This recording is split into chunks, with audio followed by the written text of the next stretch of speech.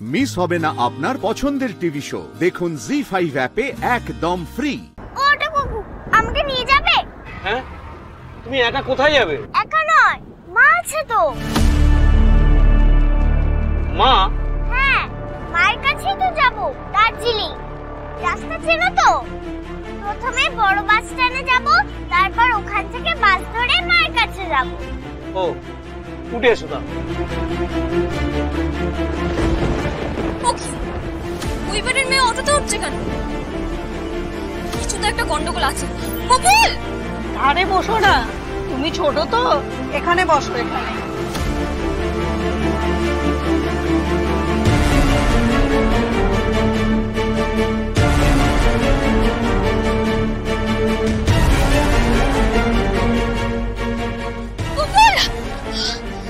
নিশ্চয়ই বাড়িতে না বলে চলে এসেছে।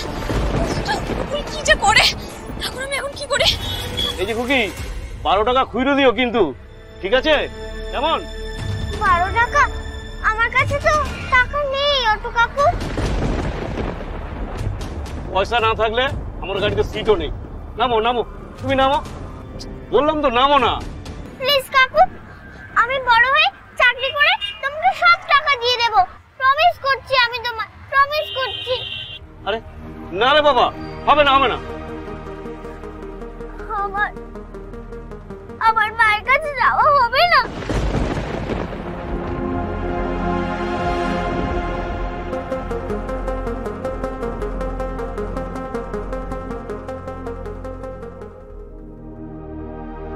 দাঁড়ান দাঁড়ান এখানে এখানে দাঁড়ান ব্যাস ব্যাস ব্যাস এখানে দাঁড়িয়ে যান এখানে দাঁড়িয়ে যান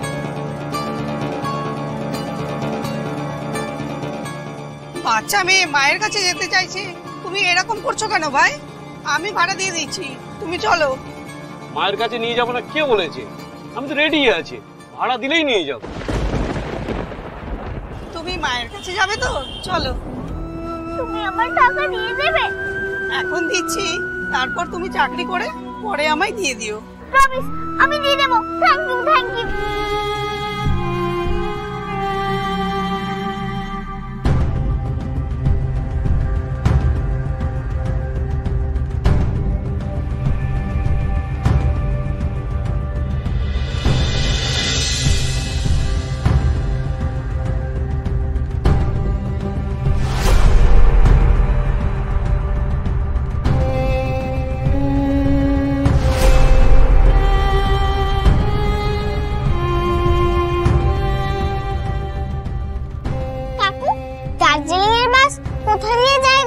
গো ওই দার্জিলিং মতো। ওইদিকে।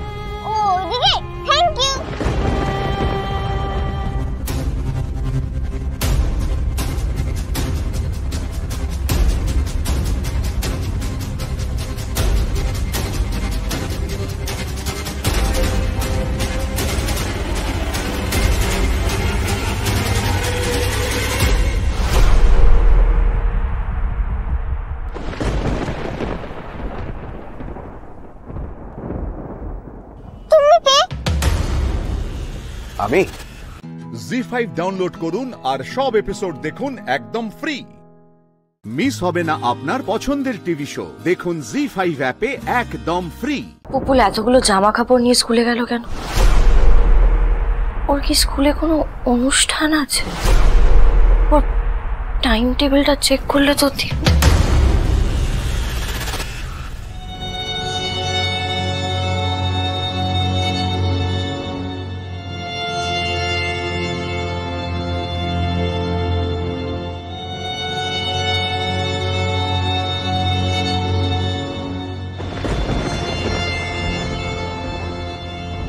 আমি আমি মায়ের স্কুলে পড়তে যাচ্ছি। মেঘান্টি বারবার আমাকে যেতে বারণ করেছে, কিন্তু আমি ওর কথা শুনব না। বাবা জানলে আমাকে যেতে দিত না, তাই আমি একা একা চলে যাচ্ছি। টাটা।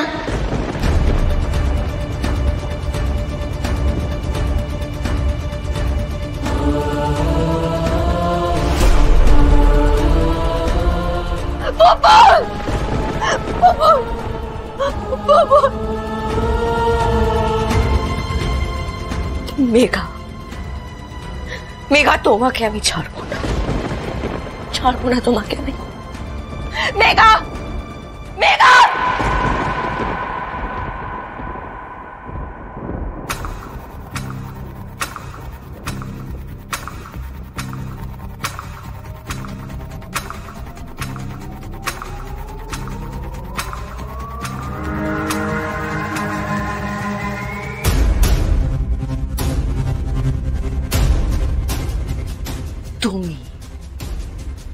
তার মানে তুমি আমার মেয়েকে মিথ্যে মন্ত্রণা দিয়ে এই বাড়ি থেকে বার করেছ, তাই তো!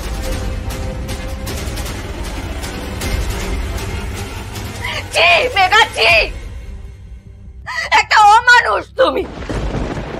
তোমাকে না কিচ্ছু করতে পারবে না। তুমি কিচ্ছু করতে পারবে না, আলো। তোমার তো কিছু করার ক্ষমতাই নেই। তুমি না পারবে এই চিঠি পড়ে কাউকে শোনাতে। আর না পারবে কাউকে কিছু বলতে। আজকে তো আমি খেলব আলো। আর তুমি অডিয়েন্স ওই যে দেখো মাঠের বাইরে। মাঠের বাইরে বসে তুমি শুধু তোমার চোখে জল ঝরাবে।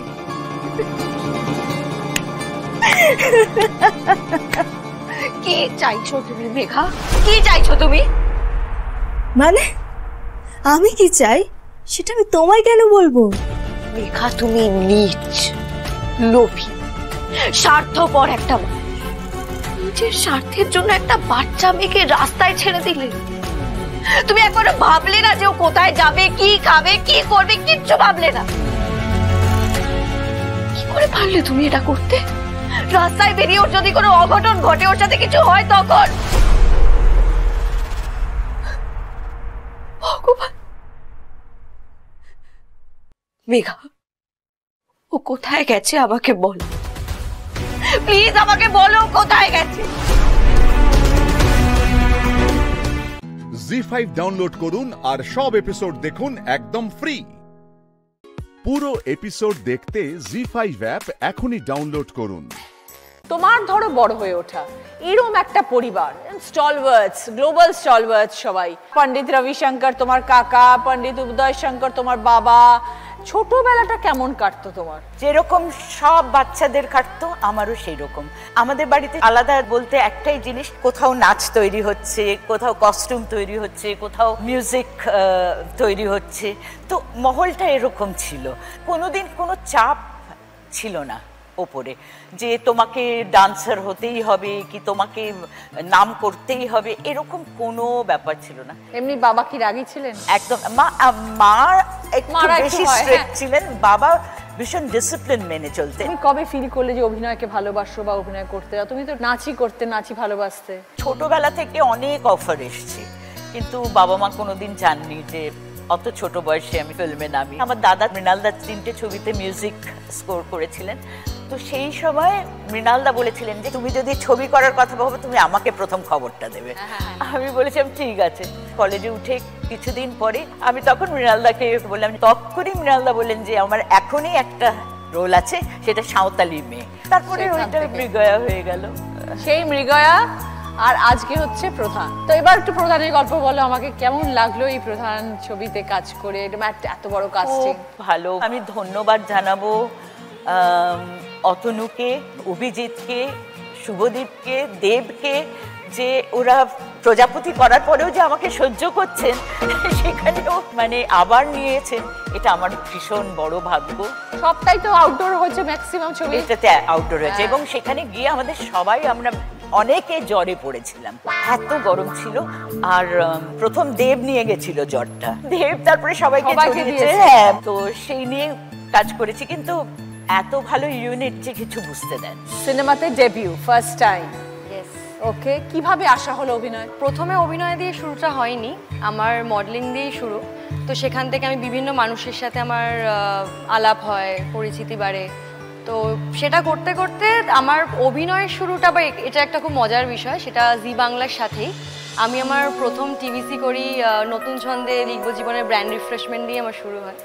তো সেখান থেকে আস্তে আস্তে একটার পর একটা কাজ হতে থাকে। প্রথম শুনলে যে এরকম একটা কাস্টিং এ তোমাকে একটু ভাবা হচ্ছে তখন নিশ্চয়ই এক্সাইটেড ছিলে? মানে যখন আমি বেঙ্গল টকিজ থেকে আমার কাছে যখন কল আসে সো প্রথমেই একটা জিনিস মাথায় এসেছিল যে আগের বছর দিদা দাদু মাকে নিয়ে প্রজাপতি দেখতে গেছিলাম আজকে মানে মমতা ম্যামের সাথে আমি স্ক্রিন শেয়ার করতে চলেছি মানে it was a huge thing for me মানে অ্যাজ অ্যান আর্টিস্ট তো ডেফিনেটলি প্রচণ্ড মানে প্রচণ্ড ভালো লেগেছিল। ওকে আর প্রধানের শুটিং করার সময় কীরকম এক্সপিরিয়েন্স হয়েছে স্নেহা? ব্যাপারটা হচ্ছে যে আমার হয়তো সবার সাথে অভিনয় করার সুযোগটা হয়নি। মমদির বৌমা। Right Mamata ma'am Paran sir আর জনের সাথে। তো অবভিয়াসলি মানে আমি যখন ওনাদের দুজনের সামনে গিয়ে দাঁড়িয়েছি আমি তখন মানে I was very nervous but মানে সত্যি কথা বলতে মমতা ম্যাম এমন একজন মানুষ মানে উনি যে এত বড় একজন স্টার সেটা একটা বাড়ির জন্য কিন্তু উনি বোঝাননি। পরান স্যারও তাই। তো I think I am lucky enough যে আমি আমার প্রথম ছবিতে এনাদের মতো মানুষদের সাথে স্ক্রিন শেয়ার করতে পারছি আর দেবদা যেখানে আছে মানে একসাথে অভিনয় না করি কিন্তু স্ক্রিনটা তো শেয়ার করতে পারছি। একই ছবিতে তো সেটা একটা খুব বড় পাওয়া আর অতনু স্যার অভিজিৎ স্যার এনাদের মতো তো মানুষই হয় না। জি ফাইভ ডাউনলোড করুন আর সব এপিসোড দেখুন একদম ফ্রি পুরো এপিসোড দেখতে জি ফাইভ অ্যাপ এখনই ডাউনলোড করুন। সৌমিত্রষা কি খবর? ভালো আছি তোমাকে দেখে আরও ভালো লাগছে। তোকে দেখেও আমার খুব ভালো লাগছে। অভিজ্ঞতা কেমন ছিল বড় পর্দার? খুব ভালো ছিল। আসলে প্রথম ছবি সেখানে এত ভালো প্রোডাকশন হাউস এত ভালো একজন ডিরেক্টর এত ভালো গুণী অভিনেতা অভিনেত্রী সবাইকে একসাথে পেয়েছি। আর কোথাও গিয়ে না কেউ ফিল করতে দেয়নি যে এটা আমার প্রথম ছবি। সেই চাপটাই যেন কোথায় উধা হয়ে গেছিল। তো খুব ভালো এক্সপিরিয়েন্স কোথায় থাকো? মানে কোথায় বড় হওয়া? বারাসাত। অভিনয় কীভাবে আসা হলো? ডান্স শিখতাম। আমি ডান্সারই হতে চাইতাম। বাবা মার খুব ইচ্ছে ছিল যে মেয়ে অভিনয় করবে। বাবা বললেন যে, তুমি বলো যে, তুমি এটাই করতে চাও কি না তাহলে একটা কাজ করতে পারি। ওপেন ইউনিভার্সিটি থেকে তুমি পড়তে পারো। বাবা মা খুবই সাপোর্ট করে গেছে এবং আজকে যেটুকু আমি মানুষের ভালোবাসা পেয়েছি, যেটুকু আমি অর্জন করেছি, সবটাই আমার বাবা মার জন্য। আর একটা কথা যে, জি বাংলা মানে আমি অনেক কাজ করেছি, কিন্তু জি বাংলা আমাকে অনেক মানুষের ভালোবাসা দিয়েছে। প্রথম যখন এই অফারটা পেলে যে প্রধানের কাজ করার জন্য তখন দেবের অপোজিটে হ্যাঁ। কীরকম লেগেছিল মানে আমার মানে তখন দেবদার অপোজিটে কাজ করব আর আর কিছু ভাবতেই পারছি না আর কি তো প্রথম প্রথম একটু নার্ভাসে ছিলাম কো অ্যাক্টার এত বড় মানুষ আমি উল্টো দিকে শর্ট দেবো কিছু ভুল হলে তোমাকে বকবে। অভিজিৎ দা সিনিয়র একজন ডিরেক্টর তো। সব কিন্তু সবাই এত ভালোবেসে কাজটা করিয়েছে। অভিজিৎ দা খুব ফ্রি মাইন্ডে কাজ করেছে যে তুমি করো তোমার ভুল হলে আমি আছি। আউটডোর ইউনিট নিশ্চয়ই খুব মজা হয়েছে কাজ হ্যাঁ করতে। প্রথম কাজ সবাই মিলে আউটডোরে আর আমার পছন্দের জায়গায় পাহাড় আর কি চাই। দেব কেমন? অ্যাজ এ কোস্টার কেমন লাগল? ভালো। বকা টকা দেয়নি তো? না মাঝে মাঝে গো। শুনি বকা দেয় সবাইকে। না গো, বকা যায়নি এত বড় একজন আর্টিস্ট কিন্তু যখন পোস্টার তখন একদম নিজেরগুলো না, উল্টো দিকে যে আমি বা যে কেউই থাকুক, তাকেও তার পার্সপেক্টিভ থেকে বলে দেয় যে তুমি এটা একটু এভাবে করে দেখো বা আমরা একটু এটা এভাবে করি। খুব ভালো। তাহলে জীবনের সব থেকে বড় পাওয়া বলো। সত্যি এই জীবনে সব থেকে বড় পাওয়া কারণ হচ্ছে একটা সময় যখন স্কুলে পড়ছি তখন দেবদা জিদ্দা সবার ছবি টবি আমরা কেটে কেটে রাখতাম তো। এরকম ডায়েরি আছে ছোটবেলার। এবার এখন কিছুদিন আগে একটা ম্যাগাজিনে দেবদার আমার একটা ছবি দেওয়া হয়েছে। তো এবার দেখে আমি ভাবছি যে বাহ এই ছোটবেলার আমিটা যদি এটা দেখতে পেতো তাহলে কতই না খুশি হতো। তো সেটা একটা বড় অ্যাচিভমেন্ট যে এসপি প্রধান হ্যাঁ? কীরকম লাগল চরিত্রটা করে। হ্যাঁ চরিত্র করতে খুব ভালো লেগেছে আমার মতো না। কড়া প্রকৃতির এবং সে খুব কর্মঠ কাজের প্রতি সে খুব ফোকাসড অলদো আমিও কাজের প্রতি ফোকাস তবুও কিছুটা আমিও অলস ব্যক্তি। এই দীপক প্রধান কোন পোস্টে মানে তোমার বস না তোমার আন্ডারে ও ওসি আমি এসপি।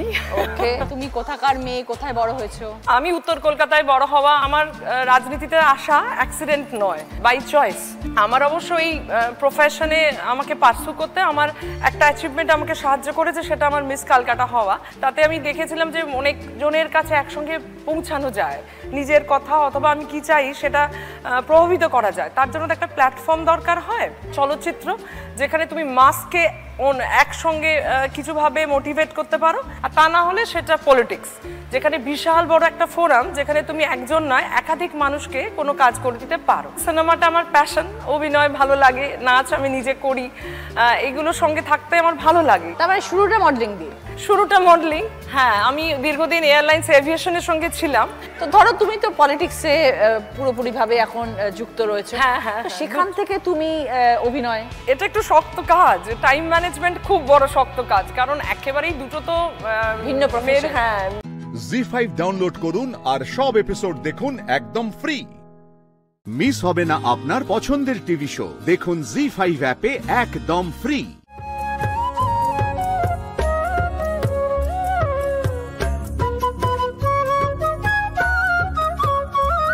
আমরা এসেছি শঙ্করপুরে এবং এই গুড সেন্টারের নাম হচ্ছে মা কালী গুড সেন্টার এবং এখানে খেজুরের গুড় তৈরি হয়।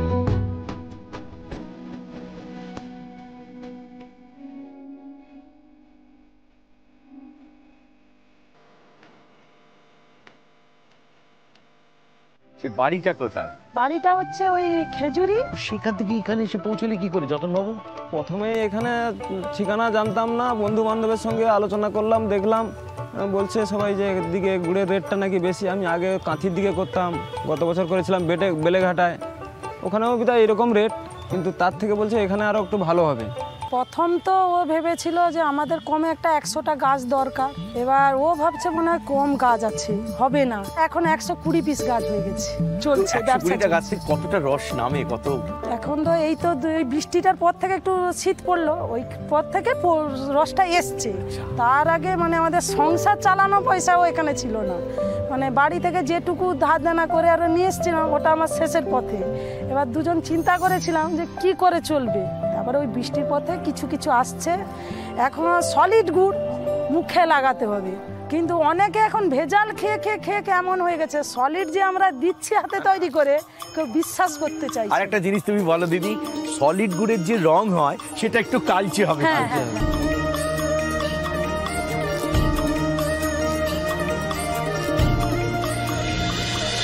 কেউ কেউ এসে বলছে দিদি আপনার ভুট্টা নিয়ে গেছিলাম খুব সুন্দর। তুমি আমাকে আর পাঁচশো দাও। আমাকে আমার বাড়ি থেকে আর এক কিলো নিতে বলেছে। ওটা ভালো লাগে। যে আমরা দশ টাকা বেশি নিচ্ছি। তারপরে গুড় কি করে করতে শুরু করলে? কি করে পারলে কি করে? বন্ধুকে ফোন করল। ও বন্ধু এসে প্রথম এক দুবার দেখিয়ে দিয়ে গেল। দিতে আমার দুজন আমরা দুজনই দেখলাম কি করে হয়। দিয়ে দেখে দেখে দুজনই শিখলাম কি করে পাটালি তৈরি হয় কি করে ললেন গুড় তৈরি হয় কি করে দানা গুড় করতে হয়। কিছু শিখলাম। এবার করার পরে সেল করতে হবে। সেল করব কি করে? বাসায় সেল হচ্ছে না। তখন ও একটা ভ্যান কিনলো হাতে চালানো ভ্যান। ওই ভ্যানে করে ও পাড়ায় পাড়ায় বা কোনো বাজারে গিয়ে বসল। তো করে যখন বিক্রি করতে দাদা পাড়ায় পাড়ায় বিক্রি হতো? খুব একটা ভালো বিক্রি হতো না মোটামুটি চলে মানে লাভ হয়নি মাথায় মাথায় হয়েছে আর কি ব্যবসাটা সেই বছর। এবার ও বলছে ওখানে তো হচ্ছে না। এবার আমি তাহলে একটু ফাঁকার দিকে যাই। ও খুঁজতে খুঁজতে দু চারবার এদিকে এসছে কিন্তু। স্টেশনে রাত কাটিয়েছে দু তিন দিন করে। দিয়ে ওই খুঁজে খুঁজে খুঁজে খুঁজে এখানে একজন কাকুর সঙ্গে পরিচয় হয়, দোকানি কাকুর সঙ্গে। অন্যান্য সময় তো আমরা তিরফল খাঁচিয়ে এমনি ও করে তিন মাস আমরা কাটাই। সে রসও বিক্রি করতে হয়, কেউ গুড় নিতে আসছে বিক্রি করতে। কিনে খুব কম লোক। কথা বলতে হয় প্রচুর জন লোকের সঙ্গে। হ্যাঁ কিন্তু আমার কাজ এ বসে আছে অনেক কিন্তু ওদের সঙ্গে হাসি মুখে আমাদেরকে গল্প করতে হয় আমাকে। তা কলকাতায় কোনোভাবে যে শহরে চালান দেওয়া বা সেখানে তো অনেক দরকার আছে এই সেরকম এখানে কোনো পাইকার দেখতে পাইনি। কিন্তু আমাদের তো সলিড জিনিস দিচ্ছি না। ওই পাইকারটা কোথায় পাবো? তুমি কত টাকা বিক্রি করো আমি দুশো টাকা কিলো ভালো জিনিস নিতে গেলে ভালো দাম দিতে হবে। যদি আপনি মনে করেন যে রবিবারের দিনে আপনার বেশ সকালবেলা একটা লং ড্রাইভে যাওয়ার ইচ্ছা আছে তাহলে চলে আসতে পারেন। কলকাতা থেকে শুরু করে যে কোনো জায়গা থেকে সোজা রাজারহাট হয়ে হাড়োয়া যাওয়ার পথে বাঁ দিকে কিন্তু মা কালী গুড় সেন্টার। জি ফাইভ ডাউনলোড করুন আর সব এপিসোড দেখুন একদম ফ্রি মিস হবে না আপনার পছন্দের টিভি শো দেখুন জি ফাইভ অ্যাপে একদম ফ্রি অমর চক্রবর্তী হিন্ট দিয়েছে যে সে আবার ইনভেস্টিগেশন শুরু করাবে। Who is this Amar Chakraborty? তোমার বোনের আর একটা বয়ফ্রেন্ড এই খবরটা তো জানতাম না। শাট আপ পণ্ডিত অমর চক্রবর্তী মেঘের গুরুজি হন। উনি বড় মানুষ ইজ এ বিগ শট ওপর মহল অব্দি ওনার যাতায়াত আছে বুঝতে পারছ? ওনার এত চুপ মানে ওনার এত প্রবলেম কিসের? এত এত ইচিং কিসের? রূপ তুমি আমার কথা সিরিয়াসলি নিচ্ছ না। কথাটা ঠিকভাবে শোনো। অমর চক্রবর্তী যদি ইনভেস্টিগেশন শুরু করায় তাহলে কিন্তু আরে বাবা ময়ূরে তুমি কি মনে করছ? কতদিন আগেকার ঘটনা? এখন গিয়ে রেজর্টে কোনো ইনভেস্টিগেট করলে কি হবে কিছুই হবে না কিচ্ছু পাবে না ওরা। এর মধ্যে কত লোকজন যা আশা করেছে কোনো আইডিয়া আছে? সেই দিন রাতের কোনো প্রমাণ ওরা যদি এখন ট্রেস করার চেষ্টা করে কোনো প্রমাণই পাবে না। সব ধুয়ে মুছে ক্লিন হয়ে গেছে পরিষ্কার হয়ে গেছে। তুমি চাপ নিও না। আর ওই লোকগুলো যে লোকগুলো কাজগুলো করেছে তাদেরকে যখন পুলিশ চাপ দেবে ইনভেস্টিগেশনের সময় চাপের মধ্যে ওদের মুখ থেকে যদি সব গলগল করে বেরিয়ে যায় তখন কি হবে? পারবে না। পারবে না জানেমান। মাইন্ড ইওর ল্যাঙ্গুয়েজ রূপ। আমার কাজ ছিল তোমাকে সাবধান করা আমি করে দিয়েছি। দেখো এবার ফাঁসলে কিন্তু তুমিই ফাঁসবে আমার কি? ইয়েস দেখো রূপ আমাকে ওই রেজর্টের কেউ চেনে না। আমি ওই রেজর্টের কাউকে চিনি না। তাই ইটস কোয়াইট ক্লিয়ার যে আমি এই প্ল্যানের মধ্যে কোথাও নেই তাই আমাকে কেউ খুঁজেও পাবে না। আর আমি যদি বলি গোটা মাস্টার প্ল্যানটা তোমার ছিল তোমার প্ল্যান অনুযায়ী আমি কাজ করেছি। কে বিশ্বাস করবে তোমার কথা? কেউ বিশ্বাস করবে না বলছো? তুমি হলে বিশ্বাস করতে।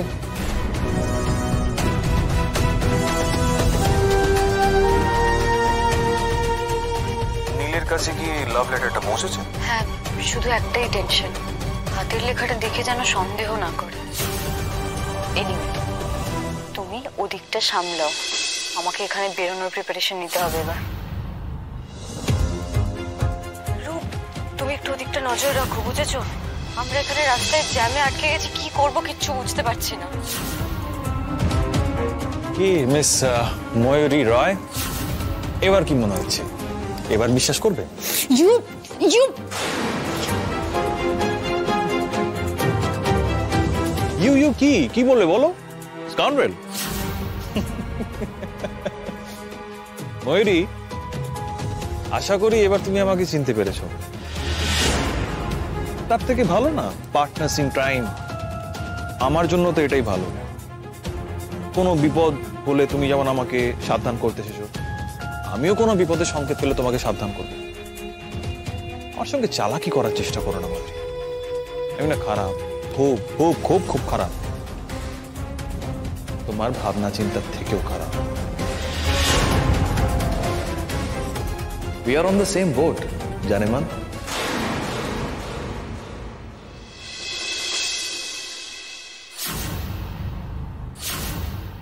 Zee five download করুন আর সব এপিসোড দেখুন একদম ফ্রি মিস হবে না আপনার পছন্দের টিভি শো দেখুন জি ফাইভ অ্যাপে একদম ফ্রি শুধুমাত্র আমার বোকামির জন্য।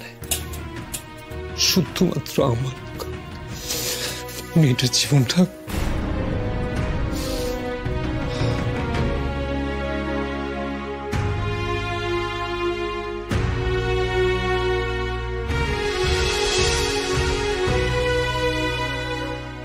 ডাক্তারবাবু ডাক্তারবাবু আমার আমার আমার মেয়েটা কেমন আছে? এখন একটু ভালো আছে আচ্ছা। কিন্তু অবস্থা খুবই ক্রিটিক্যাল ক্রিটিক্যাল মানে ওর কি life risk B positive mister Roy B positive দেখুন পেশেন্ট লড়াই ছেড়ে দিলেও আমরা কখনো লড়াই ছাড়ি না। আপনারা ছাড়বেন না। মেঘের খানিকক্ষণ আগে জ্ঞান ফিরেছিল। জ্ঞান ফিরেছিল? কই আমরা বুঝতে পারলাম না তো। এখন এইভাবে ওর মাঝে মধ্যে জ্ঞান আসবে আবার ঘুমিয়েও পড়বে। তার মানে তো রিকভার করছে। তাহলে ক্রিটিক্যাল বলছেন কেন? দেখুন অনেকগুলো প্যারামিটার নর্মাল হতে সময় নেয়। ওর তো সাংঘাতিক ব্লাড লস হয়েছে সেটা ওকে ভীষণভাবে দুর্বল করেছে। ডাক্তারবাবু ও ঠিক হয়ে যাবে তো? আমরা ওকে ফিরিয়ে নিয়ে যেতে পারব তো? আই হোপ সো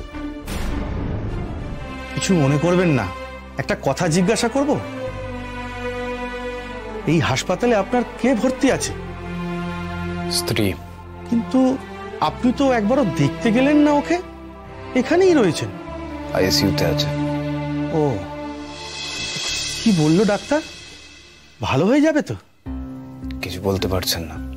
না না দেখবেন ঠিক হয়ে যাবে। এই হাসপাতালের অনেক সুনাম। আপনার কি ভর্তি? আমার মেয়ে। কি হয়েছে? কদিন ধরেই বলছে পেটে ব্যথা পেটে ব্যথা। এমনি ওষুধ দিয়েছি ডাক্তারও দেখিয়েছি। ব্যথা না কমাতে একটার পর একটা টেস্ট শুরু হলো। বেরোলো কোলন ক্যান্সার। সে কি? পরশু অপারেশন। ভালো হয়ে যাবে দেখবেন আপনার মেয়ে। ছোটদের লড়ার ক্ষমতা অনেক বেশি থাকে। ভালো হয়ে যাবে।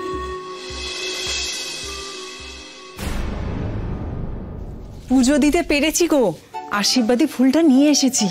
যাক, তাহলে যখন যাবে, বালিশের তলায় দিয়ে রেখো। মায়ের আশীর্বাদী ফুল। এই যে হাসপাতাল থেকে বেরিয়ে সোজা গিয়ে ডান দিকে ঘুরলে একটা খাল পড়ে না? তার পাশেই একটা অনেক পুরনো মন্দির আছে। কালী মন্দির। লোকে বলে প্রায় দুশো বছরের পুরনো। মা নাকি ডাকাত কালী। বউ তাই মায়ের পায়ের ফুল নিয়ে এসেছে। আর সেটা আপনারা ওর বালিশের নিচে রাখবেন। তাতে কি হবে? কি লাভ? আপনাদের মেয়ে সেরে যাবে তাতে? এটা তো বিশ্বাসের ব্যাপার ভাই। ওটুকু দিলে আমাদের মনের শান্তি। তার চিকিৎসা তো ডাক্তার যেমন বলছেন, সাধ্যমতো সবই করাবো। তবে এইটুকু দিলে কি লাভ হবে জানি না। ক্ষতি যে কিছু নেই, সেইটা জানি। আর মা শুনেছি বড় জাগ্রত। তেমনটা যদি হয় আমাদের মতো অভাগা বাপ মায়ের কথা না শুনে কি পারবে? আর যদি জাগ্রত না হয়? সে চিকিৎসা তো এমনিতেও হচ্ছে অমনিতেও হবে। আমাদের ভাই দেবতাতেও বিশ্বাস আর ডাক্তারেও ভরসা। সবটা মিলেমিশে মেয়েটা যদি বেঁচে যায় সেটুকুই চাওয়া। জি ফাইভ ডাউনলোড করুন আর সব এপিসোড দেখুন একদম ফ্রি মিস হবে না আপনার পছন্দের টিভি শো দেখুন জি ফাইভ অ্যাপে একদম ফ্রি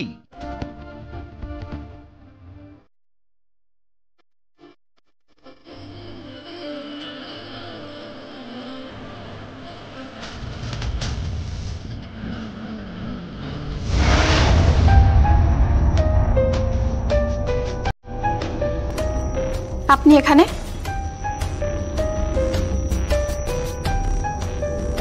আপনার যে পারফরমেন্স আছে?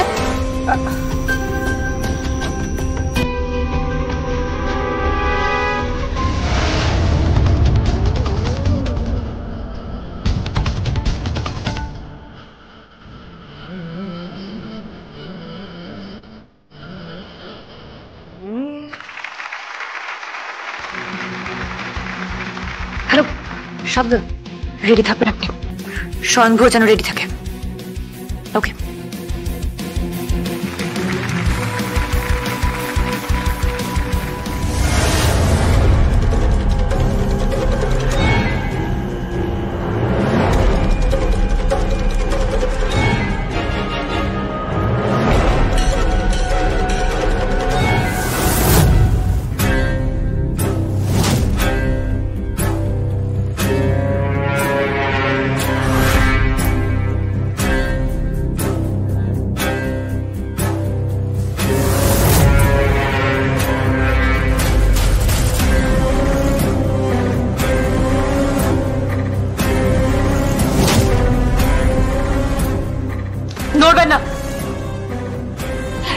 নড়বেন না।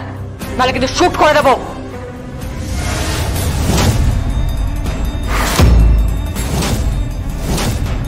রানী! বলো! একদম না ঋতুরানী। একদম না ডোন্ট মুভ ঋতুরানী কথাকালির পুরুষের ভূমিকায় ঋতুরানী। উইংসের পাশে ঋতুরাজ বাবু। খেলাটা ভালোই খেলছিলেন আপনারা ভাই বোন মিলে। বাট শেষ রক্ষা হলো না। আপনি কে? কে আপনি? জাস সান্নালি।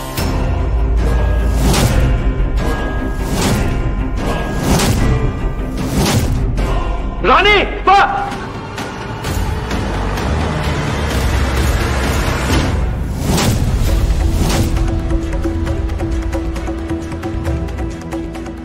বা অসাধারণ প্রতিভা আপনার। এত ভালো নাচেন আপনি এত ভালোবাসেন নাচতে। আর্টিফিশিয়াল লিম্প নিয়ে আপনি যেভাবে পারফর্ম করেন, অবিশ্বাস্য। সারা পৃথিবীর আপনার প্রতিভার কথা জানা উচিত ছিল, ঋতুরানী। আর সেখানে সেখানে আপনি আপনার নাচের পৃথিবীকে কলুষিত করছেন।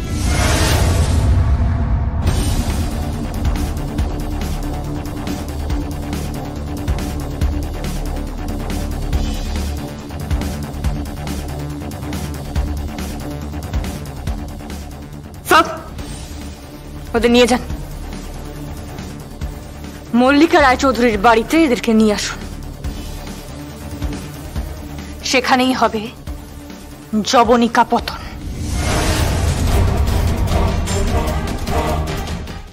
জি ফাইভ ডাউনলোড করুন আর সব এপিসোড দেখুন একদম ফ্রি মিস হবে না আপনার পছন্দের টিভি শো দেখুন জি ফাইভ অ্যাপে একদম ফ্রি দিদির মৃত্যুর পর এই বাচ্চা দুটোকে মানুষ করেছিল। করালি চরণ বাবু। ঋতুরানীর এই অ্যাক্সিডেন্টটা উনি মেনে নিতে পারেন। উনি হিংস্র হয়ে উঠেছেন। যে মেয়েটা নাচতে এত ভালোবাসে, তার জীবন থেকে রাত চলে গেল। এটা উনি মেনে নিতে পারেননি। তখনই উনি ঘরে ঢুকে দেখেন আপনার মাকে রিহার্সাল করতে। উনি হিংস্র হয়ে ওঠেন। উনি স্বরাজবাবুর শরণাপন্ন হন। বিষ জোগাড় করে। আপনার মায়ের খাবারে সেই বিষ মিশিয়ে দেওয়া হয়। তারপর তারপর রিহার্সাল করতে করতেই ঢলে পড়েন আপনার মা।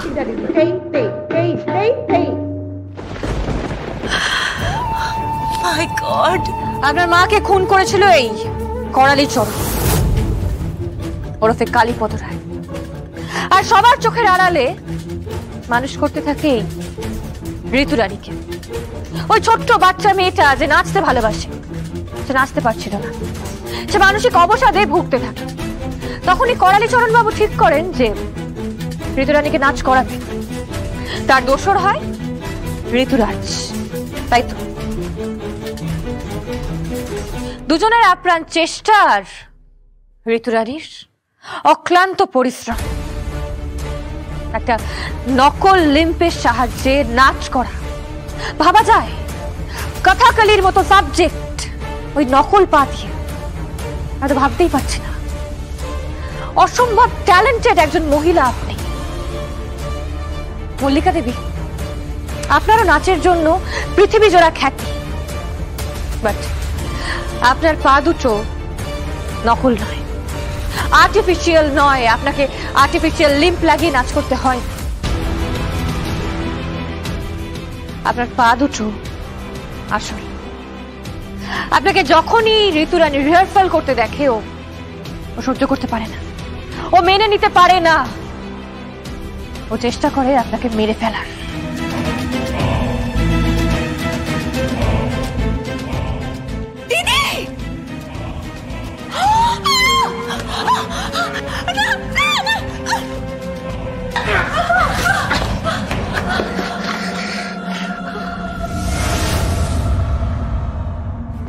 ঠিক যেভাবে আপনার মায়ের জন্য ঋতুরানীর নাচ বন্ধ হয়ে গেছিল, সেভাবেই আপনার পায়ে গুলি করে সারা জীবনের মতো আপনার নাচটা বন্ধ করে দেওয়ার চেষ্টা করেছিল এই ঋতুরানী। কি ঋতুরানী?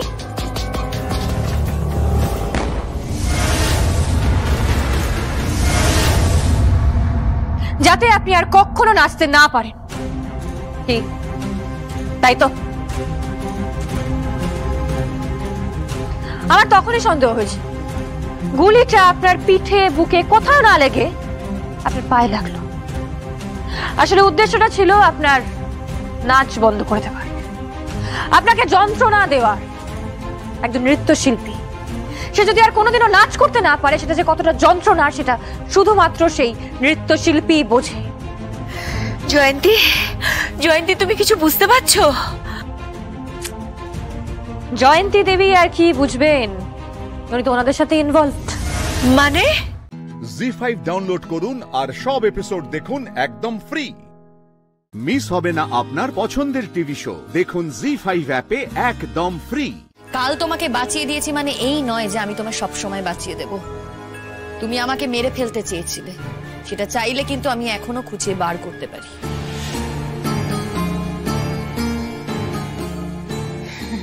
এই শিমুলদি আমি কি তোমাকে খারাপ কিছু বলেছি নাকি? দূর। দেখো, আমি এসব খারাপ, ভালো কিছু জানি না।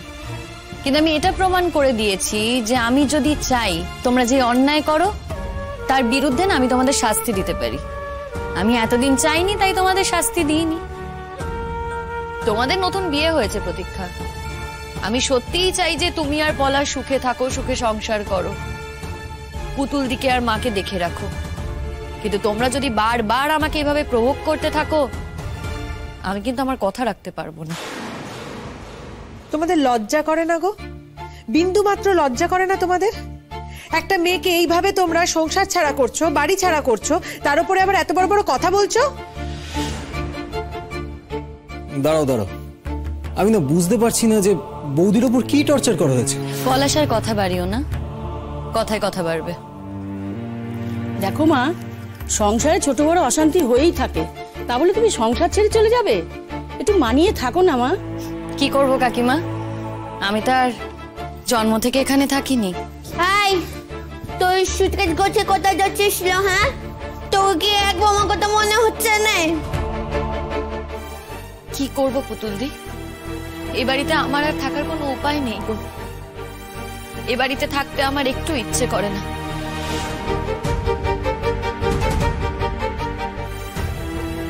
ও শতদ্র বাবা তুমি আমার সংসারটা ভেঙে দিলে গো।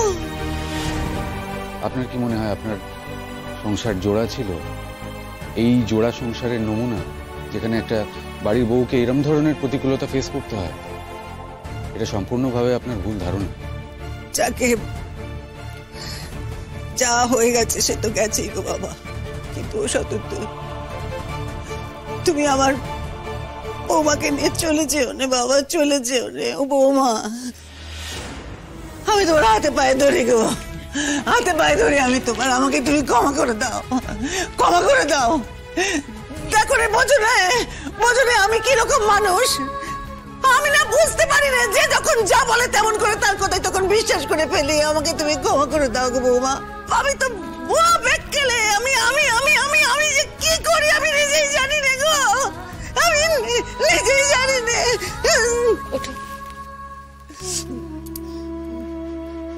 জীবনে বৌমা তুমি তো খুব ভালো করে জানো গো বৌমা। আমাদের কে আছে আর কে নেই তুমি জানো। শিমুলদি তুমি যে বয়ফ্রেন্ডের সঙ্গে চলে যাচ্ছ তোমার এটা মনে রাখা উচিত যে তোমার কিন্তু এখনও ডিভোর্সটা হয়নি হুম? আবার উস্কাচ্ছ তুমি? না না জাস্ট জিজ্ঞেস করছি মানে আমাদেরও তো এখানে আত্মীয় স্বজন সবাই আছেন। সবাই তো দেখছে শতদূরদা এসছে তোমাকে নিয়ে যেতে এখান থেকে। ডিভোর্সের অফিসিয়াল কাজটা এখনও বাকি আছে এটা ঠিক? হয়ে যাবে পলাশ তুমি অত চিন্তা করো না। জি ফাইভ ডাউনলোড করুন আর সব এপিসোড দেখুন একদম ফ্রি মিস হবে না আপনার পছন্দের টিভি শো দেখুন জি ফাইভ অ্যাপে একদম ফ্রি শিমুল যদি আমার হাত ধরতে চায় নিজের বাকি জীবনটা আমার সাথে কাটাতে চায়। আমিও সসম্মানে ওর হাত ধরবো।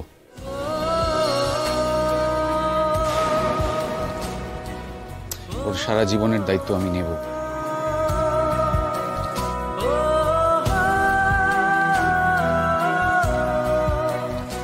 তবে কি জানেন তো? শিমুল তো খুব মাথা উঁচু মেয়ে। একটা সেলফ রেসপেক্ট রয়েছে। সেই জন্য ও এমনি এমনি সবকিছু ছেড়ে দিয়ে আমার কাছে চলে আসবে না। আর শূন্য হাতে তো ডেফিনেটলি আসবে না। ও আগে নিজের পায়ে দাঁড়াবে, তারপর আমার কাছে আসবে।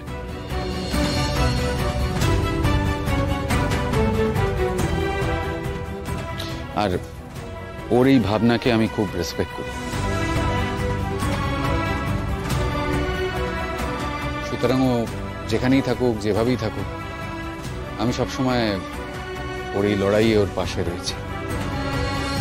আজ এই সবার সামনে দাঁড়িয়ে আমি তোমাদের কথা দিচ্ছি। আমার বৌমা যদি আবার বিয়ে করে, আমি আমি আমি নিজে দাঁড়িয়ে থেকে সে বিয়ে দেব। বিশ্বাস করো। হ্যাঁ আমি নিজে দাঁড়িয়ে থেকে দেব। শোনো বৌমারা, তোমাদের অনেকেরই হয়তো মনে হতে পারে যে আমি পাল্টি বাজ, পাল্টি খেয়ে যাই। এসব তোমাদের আমি বোঝাতে পারব না। তবে তোমাদের কথা ধরেই বলি, আমি আর কখনো পাল্টি খাব নে। আমি তোমাকে বলছি গো, তুমি যেও না। দেখো, তুমি যদি বিপাশার বাড়িতে থাকতে পারো, তাহলে তুমি এই বাড়িতে থাকতে পারবে না কেন? এ তো আমার বাড়ি গো, আমার বাড়ি। এ বাড়িতে তোমার আলাদা ঘর থাকবে গো, তুমি নিজের মতন করে সেখানে থেকো। যেও না গো বৌমা। ও শতব্দুর বাবা বোঝাও না গো বোঝাও না বৌমাকে একটু বোঝাও না। না দেখো তোমরা তো এখনই বিয়েটা করছ না। ওই যতদিন ডিভোর্স না হয় ততদিন না হয় দম বন্ধ লাগে মা। বিশ্বাস করো মা এই বাড়িতে থাকতে আমার দম বন্ধ লাগে। ইচ্ছে করে না এখানে থাকতে। আম- আমার জন্য থাকতে ইচ্ছে করে না রে।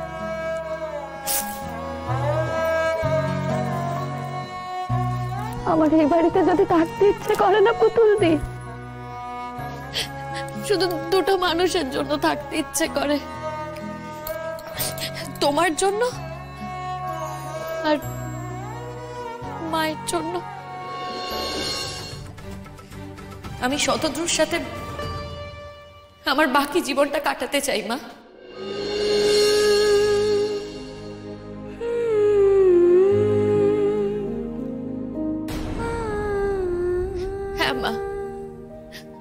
আমি শতদ্রুর সাথেই বাকি জীবনটা কাটাতে চাই। আমি ওর ওপর ভরসা করেছি। তাই এখন শতদ্রু আমাকে যেটা বলবে আমি সেটাই করব। ওর কথার বাইরে আমি কিছু করতে পারব না। জি ফাইভ ডাউনলোড করুন আর সব এপিসোড দেখুন একদম ফ্রি মিস হবে না আপনার পছন্দের টিভি শো দেখুন জি ফাইভ অ্যাপে একদম ফ্রি হে মহেশ্বর তুমি দেখো।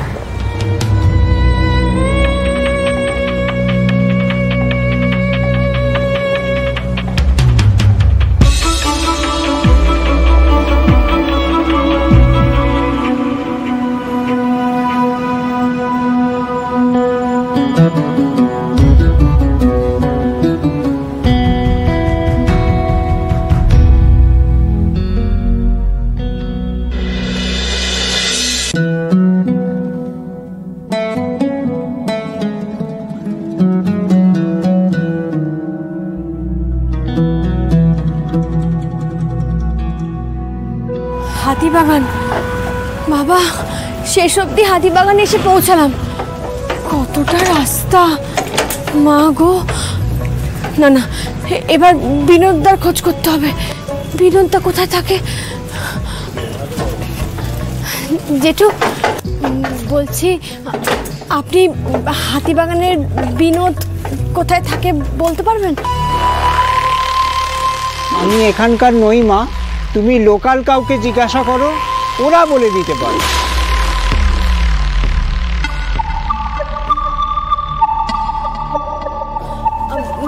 দাদা আপনি বিনোদদার বাড়ি কোথায় জানেন? না না।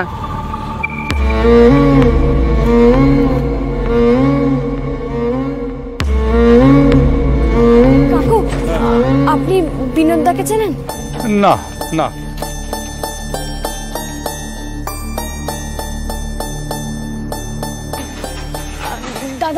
আপনি বিনোদকে চেনেন?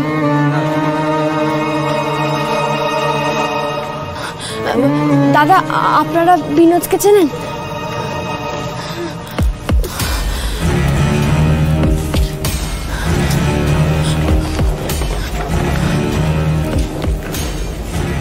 দাদা আপনি বিনোদকে চেনেন?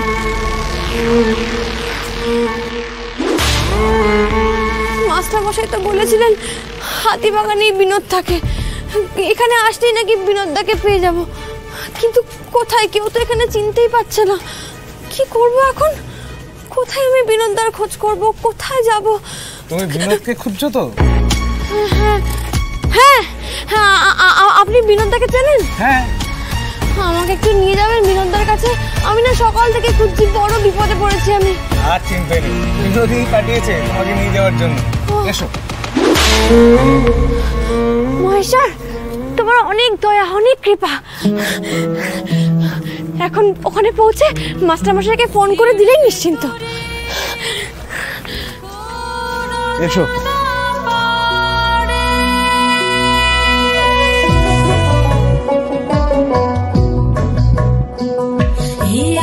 জগৎ কেমনে বুঝি রে? রে। বাবা কত গলিগালা। কেমন যেন দম চাপা ভাব। কতক্ষণে যে বিনোদদার বাড়ি আসবে কে জানে। কি হলো? দাঁড়িয়ে পড়লে কেন?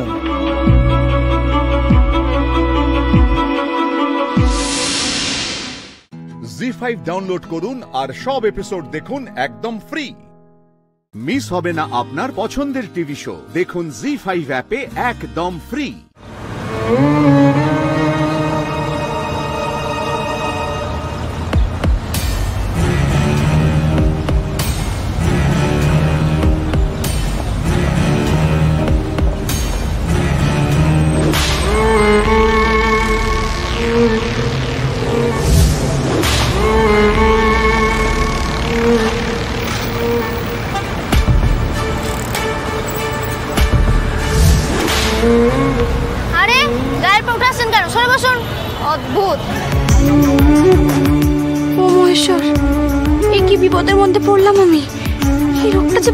অসভ্য।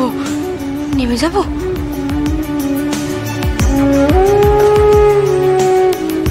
না না না। হাতি হাতিবাগান না পৌঁছানো অবধি নামা যাবে না। অনেক কষ্টে এই বাস পেয়েছি আমি। বাগবাজার বাটা, চল চল চল চল চল চল।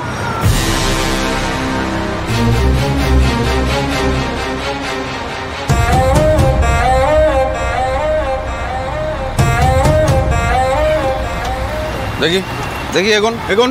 আর আপনি সামনে নামবেন তো নাকি? নামবেন না? তাহলে এখানে কেন দাঁড়িয়ে আছেন? যান ভেতরে যান যান পেছনে যান যান।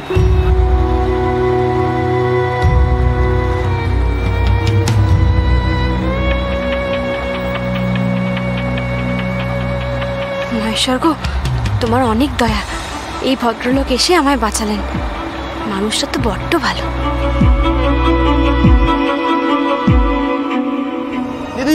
এদিকে টিকিটটা করবেন।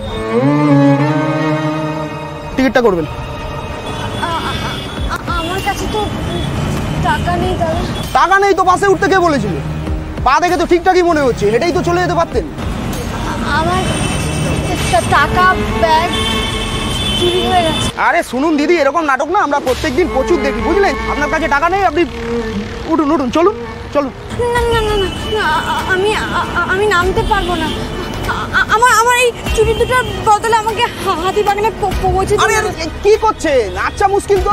আরে বাবা টাকার বদলে চুরি দিচ্ছেন এই আপনি আসুন তো আসুন। দিদি উঠুন উঠুন উঠুন আসুন। আরে আসুন দিদি চলে আসুন। এ বাস দাঁড় করা। আসুন আসুন। দাঁড়া দাঁড়া। আসুন দিদি আসুন।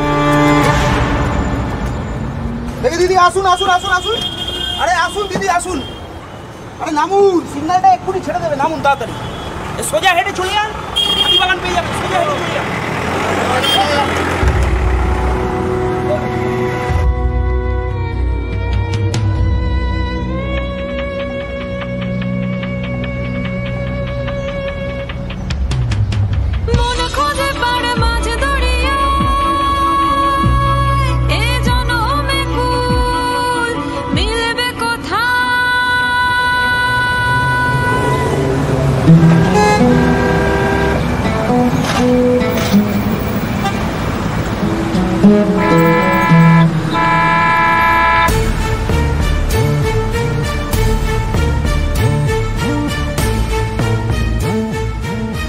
দেখে চলতে পারেন না। আরে আরেকটু হলেই তো মরতেন। এক চুলের জন্য বেঁচেছেন আপনি। মরার আর জায়গা পান না। যাবেন কোথায়? হাতিবাগান আমাকে যেতেই হবে। জি ফাইভ ডাউনলোড করুন আর সব এপিসোড দেখুন একদম ফ্রি মিস হবে না আপনার পছন্দের টিভি শো দেখুন জি ফাইভ অ্যাপে একদম ফ্রি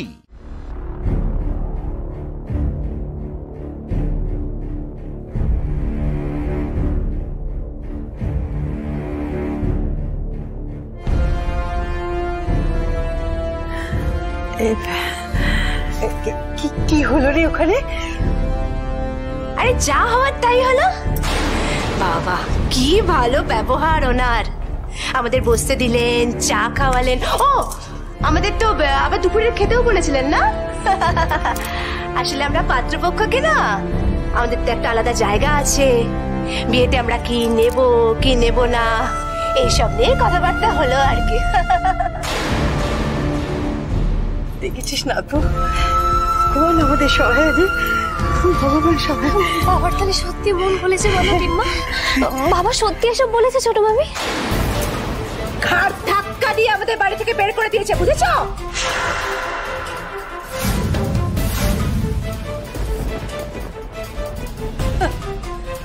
চল তো দূরের কথা। দেবতুল্য দাদাকে পর্যন্ত অপমান করল। ছি ছি ছি ছি।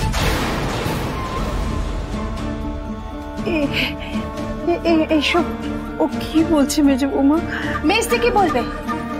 আমি বলছি কীভাবে অপমান করেছে। এতগুলো টাকা দিয়ে কেনা মিষ্টির হাড়ি আমাদের চোখের সামনে ফেলে দিলে। তুমি চুপ করো। যা তো দূরের কথা। হ্যাঁ, বলেছে ওনার বাড়িতে জল খাওয়ানো নাকি আমাদের কোনো যোগ্যতা নেই। আরও কত কথা? অর্জুন গুন্ডা অর্জুন নাকি ওর মেয়েকে তুলে নিয়ে এসছে জোর করে আর আমরা নাকি জোর করে ওদের বিয়ে দিচ্ছি। ছি ছি ছি ছি ছি। লজ্জায় না মাটিতে একেবারে মিশে গেছি। ছোট চুপ কর না তুই এখানে তো দাদা আছেন কিছু বলার হলে দাদা বলবেন। দাদাকে কোনোদিনও সত্যিটা বলবে? দাদা ভালো মানুষ সত্যিটা চাপা দেবে সবসময় কিন্তু আমাকে বলতেই হবে। যদিও এই অপমান সহ্য করে আমরা চুপচাপই থেকেছি উল্টে ভালো ব্যবহার করেছি। তা বলে অপমান ভুলে যায়নি হ্যাঁ?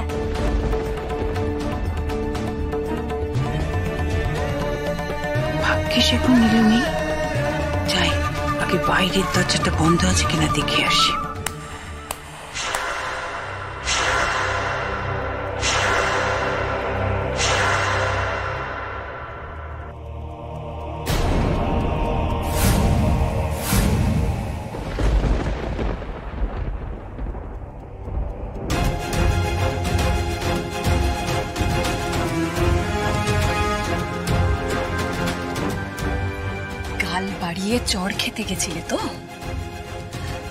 ডিআইজি অবিনাশ সিনহার কাছে? হ্যাঁ? কেমন লাগল তোমাদের? বলো না, কেমন লাগল?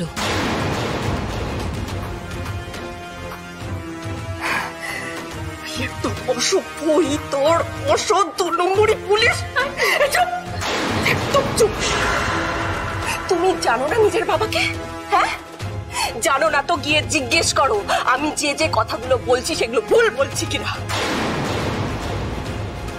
আন্টি আন্টি আমি কি ভুল বলেছি হ্যাঁ? কি ভুল বলেছি আমি? তোমার বাবা তো একটা মিলু জি ফাইভ ডাউনলোড করুন আর সব এপিসোড দেখুন একদম ফ্রি মিস হবে না আপনার পছন্দের টিভি শো দেখুন জি ফাইভ অ্যাপে একদম ফ্রি মিলি তুমি এত কিছু একদম ভেবো দেখো তোমার রাগী শাশুড়ি কিংবা তোমার বাবা? রাজি হয়নি তো কি হয়েছে? আমরা তো আছি। ওরে ময়ূরশ্রী আরে নীলু তো আমার বোন আমাদের বোন। আমরা ঠিক সামলে নেব তুই চিন্তা করিস না। তোর বিয়েটা কিন্তু মামা বাড়ি থেকেই হবে। হ্যাঁ হবেই। কিন্তু আমার মামার বাড়ি তো জামশেদপুরে। আর ওদের সাথে আমার কোনো যোগাযোগও নেই। এই দেখো বোকামে। আরে ওসব জামশেদপুর তুমি ভুলে যাও। তোমার এই তিন মামা যেখানে আছে সেটাই তোমার মামার বাড়ি। আমরা তিন মামা তোমাকে বরণ করেছি। এবার এই তিন মামাই দাঁড়িয়ে থেকে তোমার বিয়ে দেবে। একদম ঠিক বলেছি কিন্তু। ঠিক বলেছে মানে? বিয়ে কি দেবে? আরে মিলির বাবা কি বলেছে মনে নেই হ্যাঁ? বলেছে চাপকে পিঠের চামড়া তুলে দেবে। না বাবা যা করবে একটু ভেবে চিন্তে করো। চুপ করো না সবসময় খালি নেগেটিভ কথা। ছোট বউ একটু চুপ করো না বাবা। উফ। এই তুই একটু সত্য বসি? ছোট কাকা দেখ দেখ দেখ। এই তো কালকেই খুব ভালো দিন আছে। কালই আইবুড়ো ভাত হবে। কিন্তু আন্টি আমাকে ভয় করছে। এই শোন শোন শোন। এইটি তোর আন্টির সঙ্গে যতক্ষণ ওই শাশুড়ি বৌমার ঝগড়াটা করবি ততক্ষণে আমরা এই তিন মামা মিলে না তোকে আদর দিয়ে বাঁদর করে দেবো। কিরে জানিস না বুঝি? মামার বাড়ি ভারী মজা। কি ছাড় নাই। সেটা আবার কি? এই দেখো এটাও জানো না? আরে তাই তাই তাই। মামা বাড়ি যাই। মামা বাড়ি ভারী মজা কিল চন নাই। মামি দিল দুধ ভাত দুয়ার বসে খাই নাটক। এত বড় ধাড়ি মেয়েকে তিন বুড়ো মিলে ছড়া শোনাচ্ছে। পাড়াপাড়ির একটা সীমা থাকে। ইচ্ছে করছে এদেরকে না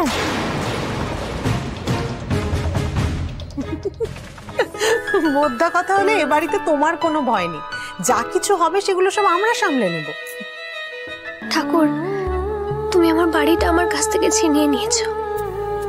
কিন্তু আমাকে তার বদলে দুটো বাড়ি দিলে তাও এক জায়গায়। একটা বাড়িতেই দুটো বাড়ি আমার। শ্বশুর বাড়ি আবার আমার মামার বাড়িও। আয় না আয় না। আরে কি কি করছিস তুই? পাশে পাশে ছোট মামা। আরে শোন আমার কথাটা রে শোন। কাল তো রাইবুড়ো ভাত। আরে এইসব আই বুড়ো ভাত তাই বুড়ো ভাত আবার কি? আরে, তুই কতদিন প্লাবনের পাশে আর মিলি কতদিন প্রিয়াঙ্কার পাশে শোবে বল? তোরা দুজন যাতে এক ঘরে থাকতে পারিস, সেই ব্যবস্থাই করছি।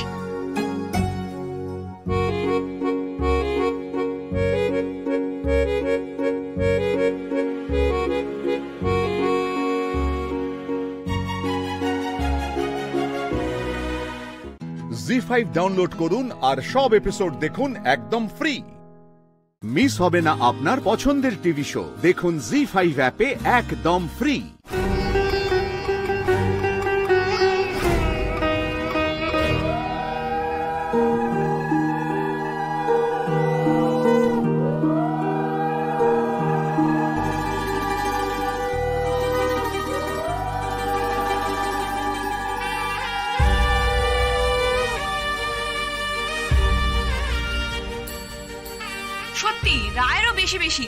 কিসের রে? এত লজ্জার কি আছে? ওই যে তখন থেকে মাথাটা নিচু করে আছে তো নিচুই করে আছে। বেচারা আমাদের বর। ও দেখতে দেখতে ক্লান্তই হয়ে গেল। দাদাকে তো দেখছি না। কোথায় গেল? আরে দাদার তো আজকে সম্প্রদান করার কথা ছিল। এইবার শরীরটা এত খারাপ সারাদিন যদি উপোস করে শরীরটা আরও খারাপ হয়ে যাবে না বলো তো? আমি আমার ভাইকে ডেকেছি ভাই সম্প্রদান করছে। আর দাদা ওই পোশাক টোশাক পরে বোধহয় বরপক্ষরা এসছে না? ওই খাবার হ্যাঁ। হ্যাঁ বাবা কি হয়েছে বল? বাবা কোথায় গো? তুমি তো এই সংসারের জন্য সর্বস্ব করেছ। সব করেছ। তুমি চলে গেলে তো ব্যাটেনটা আমাকেই তুলে নিতে হবে, বলো।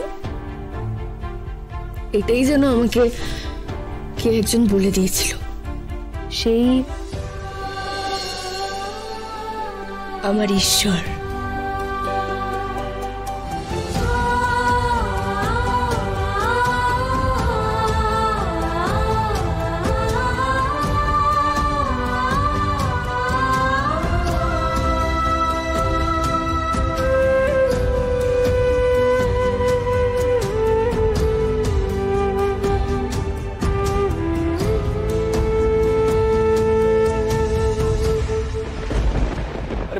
তো সামনে থাকার কথা, বাবার বন্ধুরা এসে দেখা করতে চাইছে। খাবারের ওখানে বাবা কি করছে? নমস্কার। সূর্যের উপর আমার অধিকার আছে, বাবা। আমি জানি। ও ঠিক নীলুকে মানিয়ে নেবে। হ্যাঁ হয়তো প্রথম প্রথম একটু অস্বস্তি হবে। তারপর সময় সব ঠিক করে দেবে। কাল থেকে আবার প্রথম কাজ, একটা চাকরি খোঁজা। এতদিন যেটা মন দিয়ে করিনি, এবার মন দিয়ে করতে হবে। কিছু না কিছু একটা চাকরি ঠিক পেয়ে যাব। তাছাড়া তোমার রিটায়ারমেন্টের তো বেশ কিছুদিন বাকি রয়েছে। চাকরিটা শেষ করার আগেই তো তুমি চলে গেলে। আমি তোমার চাকরিটাও পেয়ে যেতে পারি, বাবা।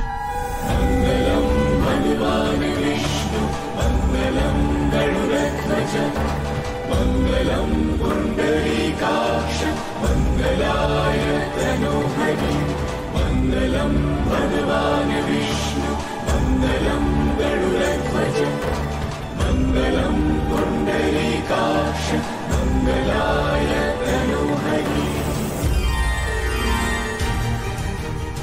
বাইরে একটা আলো ঝলমলে অনুষ্ঠান চলছে। আমারই বিয়ের অনুষ্ঠান। কিন্তু এখন তো আর আমার বিয়ে নয়। জি ফাইভ ডাউনলোড করুন আর সব এপিসোড দেখুন একদম ফ্রি। মিস হবে না আপনার পছন্দের টিভি শো। দেখুন জি ফাইভ অ্যাপে একদম ফ্রি। রাই এবার কিন্তু আমাদের নিয়ম হয়ে গেছে। এবার কিন্তু তোমাকে এই ঘোমটাটা সরাতেই হবে। এতটাও তো ঘোমটা দেওয়ার কোনো প্রয়োজন নেই। ঘোমটাটা সরাও রাই। এত বেশি লজ্জা পেও না তো। কি হবে এখন? আমি কি করব? এই দিদি ভাই দিদি ভাই এখনও মুখটা ঢেকে রেখেছিস কেন?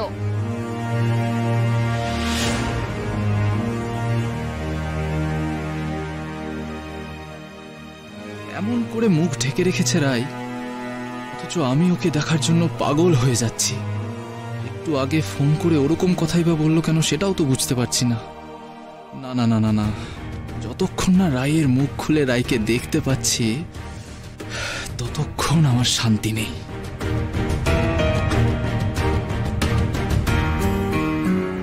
বাবা, এত লজ্জা কোথায় ছিল এতদিন? আমাদের বাড়িতে গেছে, আমার দাদার সঙ্গে এতদিনের সম্পর্ক, আবার লজ্জা কখন হলো? না, হঠাৎ করে লজ্জা এতটাই বেড়ে গেল যে আমাদের বাড়ির লোকের সামনে ও ঘোমটা তুলতে পারছে না। না বাবা এখানে তো আমরা বাড়ির লোক আছি। আমাদের মুখটা দেখাতে পারছে না ও।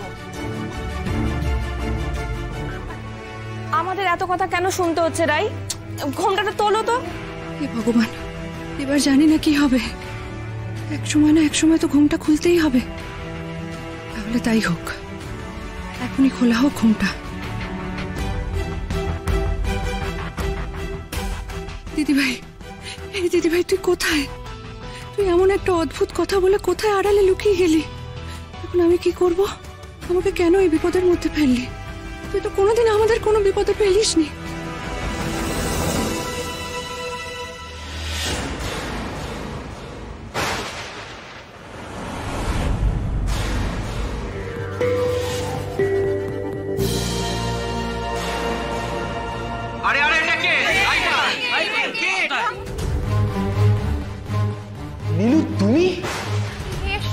কি?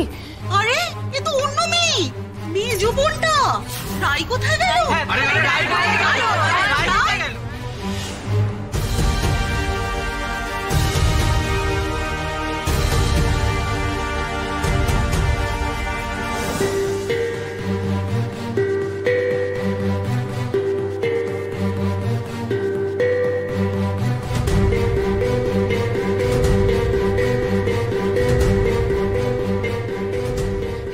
সর্বনাশ হবে। নীলুকে ছেড়ে কেউ চলে যাবে। না না সূর্য এটা কিছুতেই করতে পারে না। কিছুতেই করতে পারে না। আমি এসবের মানে কিছুই বুঝতে পারছি না। মানে রাই কোথায়? নীলু তুমি এখানে এলে কি করে? তুমি জানতে না আমার সাথে কার বিয়ে হচ্ছে? না আমি কিচ্ছু জানতাম না। আমি আমি কিচ্ছু জানতাম না সূর্যদা। আমি আমি দিদিভাইয়ের কথা এসব করেছি। দিদিভাই আমাকে করতে বলেছে। আমি দিদিভাইয়ের কথা না শুনে থাকতে পারিনি। শুনুন না শুনুন না। কি হয়েছে? কি হয়েছে? মা এ কি অঘটন? রায় কোথায়? রায়ের জায়গায় নীলু এখানে। এসব কি হচ্ছে? এসবের মানে কি? দেখো বাবা দেখো। কোন ফ্যামিলিতে সহ্য বিয়ে দিচ্ছ? একটা চাল জোচ্চর ফ্যামিলি জি ফাইভ ডাউনলোড করুন আর সব এপিসোড দেখুন একদম ফ্রি মিস হবে না আপনার পছন্দের টিভি শো দেখুন জি ফাইভ অ্যাপে একদম ফ্রি আসছি স্যার স্যার আপনারা তো ডেলি পেমেন্ট করবেন বলেছিলেন। কিন্তু এখনও পর্যন্ত একদিনেরও পেমেন্ট করেননি। করব না পেমেন্ট পারব না দিতে। আমি বিক্রি বিক্রি আমি। বিক্রি আমাকে আমাকে বের করে দাও বের করে দাও। আমাদের দুজনকে বের করে দাও জাস্ট বের করে দাও বের করে দাও। বাবু সোমরাজ বাবু সোমরাজ বাবু চুপ চুপ। কিচ্ছু হয়নি কিচ্ছু হয়নি সব ঠিক আছে সব ঠিক আছে। আপনার কথা বলার দরকার নেই আমি কথা বলছি। আমি কথা বলছি আপনি একটু সন্দেহ প্লিজ চলুন আমি কথা বলব। আপনি আমার সঙ্গে ম্যানেজার রুমে চলুন। একটু বাইরে যান আমি আসছি।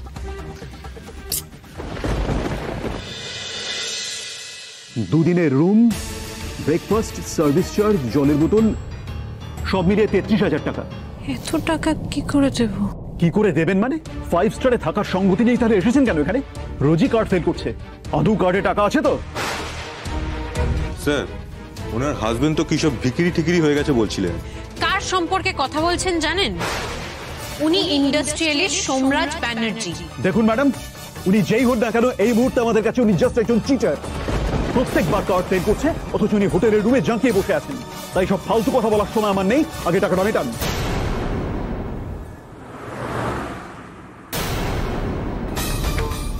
তেত্রিশ হাজার আছে গুনে নিন। থ্যাংক ইউ ম্যাডাম আপনারা টাইমলি পেমেন্ট করে যতদিন খুশি থাকুন না। সত্যি টাকা পেয়ে হঠাৎ করে আপনাদের বিহেভিয়ারটা কেমন পাল্টে গেল? না না আসলে দেখুন ম্যাডাম আমাদেরকে তো জবাবদিহি করতে হয়। না না ঠিক আছে। আপনাদের এই গিরগিটিগিরির জন্য আপনাদের বকশিস পাওনা আছে। আপনাদের যাদের জবাবদিহি করতে হয় তাদেরকেও এর ভাগ দেবেন কেমন? রাখুন এটা। পালাগুলো বিক্রি করে চুয়াল্লিশ হাজার টাকা পেলাম। তার থেকে তেত্রিশ হাজার টাকা দিয়ে দিতে হলো আর হাতে দশ এগারো মতো। আমার যা জমানো আছে তা তো খুবই সামান্য। এই দিয়েই চালাতে হবে আপাতত আর সোমরাজবাবুকে না এই টেনশনটা দেওয়া যাবে না।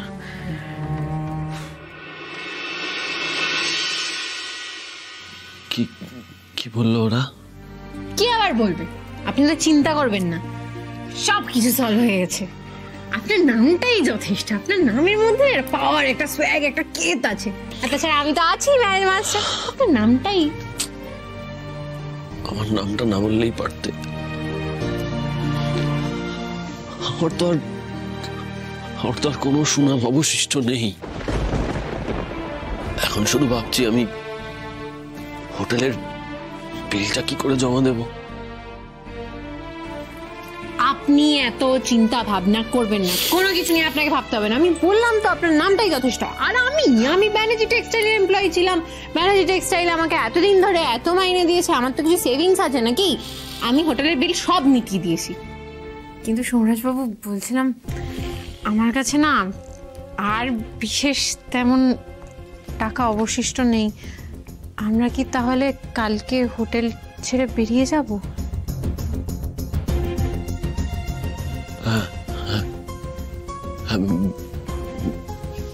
বেরোতে তো হবেই। বেরিয়ে যাব আমরা, কালকেই বেরিয়ে যাব, কিন্তু বেরিয়ে যাবোটা কোথায়? জি ফাইভ ডাউনলোড করুন আর সব এপিসোড দেখুন একদম ফ্রি। মিস হবে না আপনার পছন্দের টিভি শো দেখুন জি ফাইভ অ্যাপে একদম ফ্রি তোমাদের ঠিকানাটা অন্তত আমাকে বলো। মানে বাড়ির ঠিকানাটা আমাকে বলো। ঠাম্মাটা যে বড্ড কেঁদে কেঁদে পাগল হয়ে যাচ্ছে। সবিতা দি সবিতা দি আমরা খুব ভালো আছি। ঠামিকে বলো আমরা ভালোই আছি। ঠামিকে বলো আমাদের নিয়ে চিন্তা না করতে আমরা আসি এখন কেমন? না না এরকম বললে চলবে না। বলো না তোমরা কোথায় আছো? দোহাই তোমাদের। বুড়ি ঠাম্মাটা যে বড্ড কষ্ট পাচ্ছে তোমাদের চিন্তায়। আমরাও যে তাই সবিতা দিই। কি যে করি এখন? আসলে আমাদের তো কোনো ঠিকানা নেই থাকার জায়গাও নেই বুঝলে? তোমাদের যাওয়ার জায়গা নেই? আমি নিজে যে ছজনের সাথে একটা ঘরে থাকি না হলে তোমাদের সেখানেই নিয়ে যেতাম। তুমি যেটা বলেছ সেটাই অনেক সুবিধা দি আর শোনো না বাড়িতে কাউকে বলার দরকার নেই আমাদের সঙ্গে তোমার দেখা হয়েছে। আমরা এখন আসি কেমন? চলুন শোনো। আরে শোনো না শোনো না। বলছি যাবে কোথায়? এই সামনেই আমার পাড়া। পাড়ার একটা ছেলে বাড়ির দালালি করে। ওর কাছে কোনো উপায় থাকলেও থাকতে পারে। জানো তো? চলো। চলো। চলো না চলো। তাহলে দেখে নিয়েছেন তো? এই হলো এক কামরার ঘর। এবার বলুন আপনারা কি বলছেন? বলছি কয়েকটা দিনের তো ব্যাপার মাত্র। এখানে থাকতে পারবেন তো সোমরাজবাবু সত্যি মাত্র কয়েকটা দিনেরই ব্যাপার তো তিথির নিন নিন তাড়াতাড়ি ঠিক করুন। আরও লোক আছে লাইনে। বলছিলাম আমাদের কোনো অসুবিধা নেই। শুধু ভাড়াটা যদি একটু বলতেন তাহলে। কি হলো? বলো নিজেদের শুনুন ম্যাডাম। অ্যাডভান্স হচ্ছে হাজার টাকা আর পার ডে একশো টাকা করে।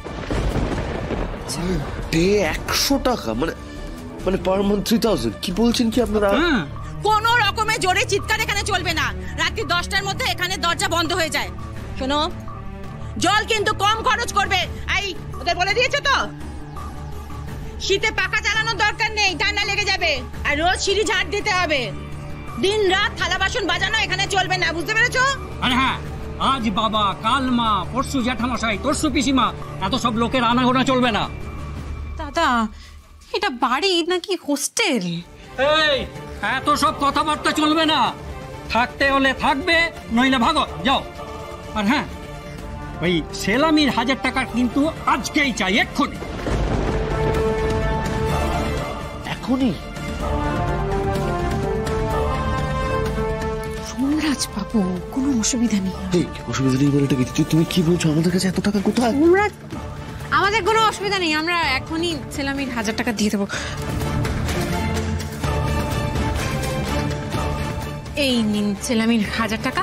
আর দাদা আপনি এটা রাখুন মিষ্টি খেয়ে নেবেন। আর ধন্যবাদ। থ্যাংক ইউ ম্যাডাম এই শোনো বাড়ি ভাড়ার টাকা কিন্তু এক তারিখের মধ্যে দিয়ে দিতে হবে। আমার রোজ রোজ চিৎকার চেঁচামেচি ভালো লাগে না একেবারে। আর একটা কথা সিঁড়ি দিয়ে যখন জিনিসপত্র তুলবে না দেওয়ালে দাগ করবে না। বুঝতে পেরেছ? তো। হ্যাঁ। ঠিক আছে। চলো।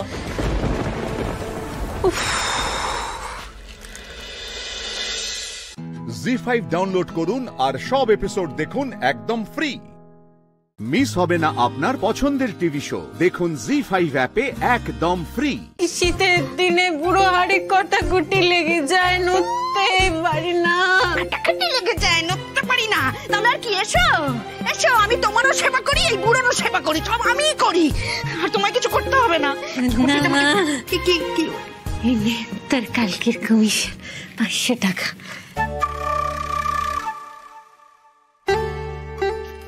বলো না। সাদে কি আর রাগি? একদম তিনশো যাচ্ছে পাঁচশো। হ্যাঁ বলছি যে মাথাটাও ধরে গেছে আর মাথা কাজ করছে না। এমনি এমনি তোমার উপর রাগ করিনি গো। আমার খুব মাথা যন্ত্রণা করছে। সকাল থেকে এক কাপ চাও খেতে পাইনি। চিন্তা করো না মা। আমি তো আছি তোমার জন্য। আমি মাথা টিপে দিচ্ছি। এসো বসো তুমি। মাথাটা টিপতে পারো তো? চলো চলো। এগুলো পরে পরিষ্কার করে দিও ঠিক আছে? হ্যাঁ, এসো। এসো। এসো। এসো। দাও দাও দাও। জোরে টেপো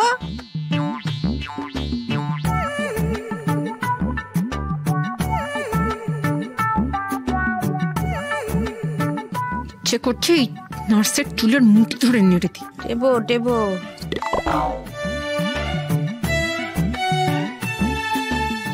এই সুযোগ। এই নার্স ঘুমিয়ে পড়লে বাবার সাথে স্বাভাবিক কথাবার্তা বলে বাবাকে সুস্থ করতে হবে।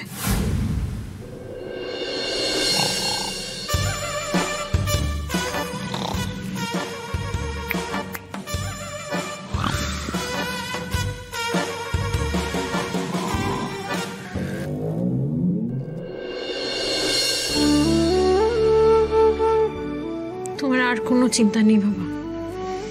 তোমার সাথে আর কেউ মিসবিহেভ করবে না। তোমাকে আমি ঠিক সুস্থ করবই। কিন্তু তার আগে আমাকে কয়েকটা প্রমাণ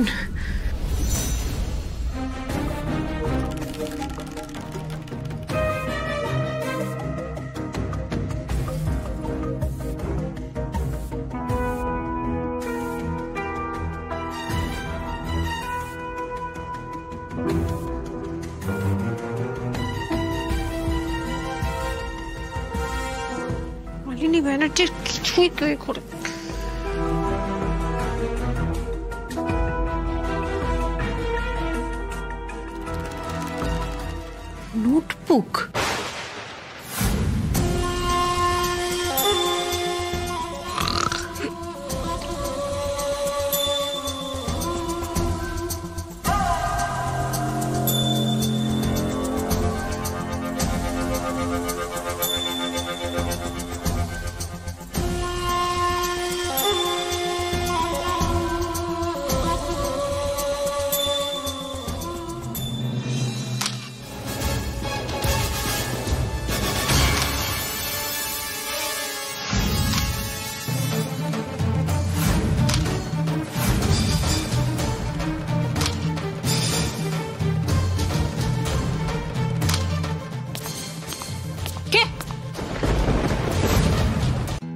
ফাইভ ডাউনলোড করুন আর সব এপিসোড দেখুন একদম ফ্রি মিস হবে না আপনার পছন্দের টিভি শো দেখুন জি ফাইভ অ্যাপে একদম ফ্রি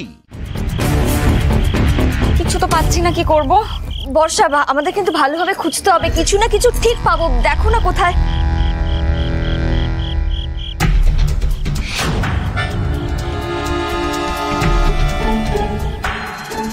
কোথায় ফেলি এগুলো? তোর বাবা। রাতে আমি কোথায় যাব? হ্যাঁ আমি বরং ছাদ থেকে বোতল দুটো ফেলে দিই।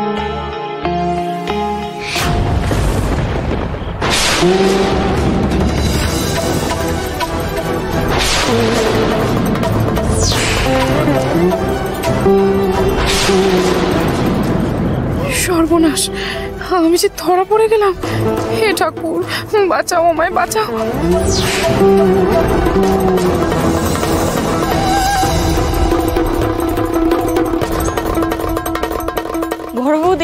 ওভাবে কিছু লুকোনো যায় না গো। এখানে কি সব হচ্ছে হ্যাঁ? বাহ! হাতে নাতে ধরা পড়েও দেখছি গলার জোর বেড়ে গেছে হ্যাঁ? দিদি এই প্রশ্নটাই যদি আমরা ঘুরিয়ে তোমাকে করি? এত রাত্রিবেলা ছাদে তুমি কি করছিলে?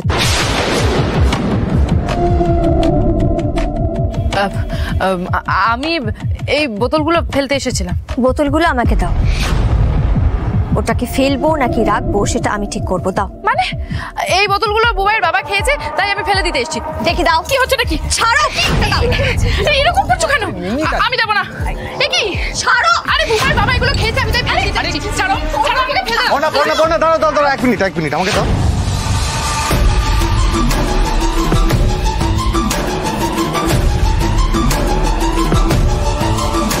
এই তো এই তো পড়না মনে পড়ে গেছে। এই আধ খাওয়া বোতলটাই আমার। আমি এতটাই খেয়েছিলাম।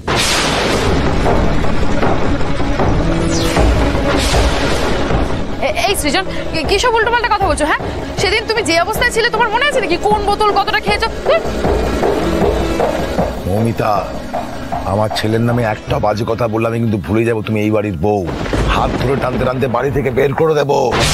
সত্যি মমিতা এত কিছুর পরেও তুমি এরকম মিথ্যে নাটক কি করে করে যাচ্ছ বলো তো? এখন এত কথা বলে সময় নষ্ট করার মতন সময় আমার কাছে নেই। বারো ঘণ্টার মধ্যে আমাকে প্রমাণ করতে হবে যে সৃজন নির্দোষ। আর তার জন্য যা করার আমি করব। সৃজন বোতলটা দাও আরে এই বোতলটা আমি বারবার বলছি। টিকলু হ্যাঁ বল।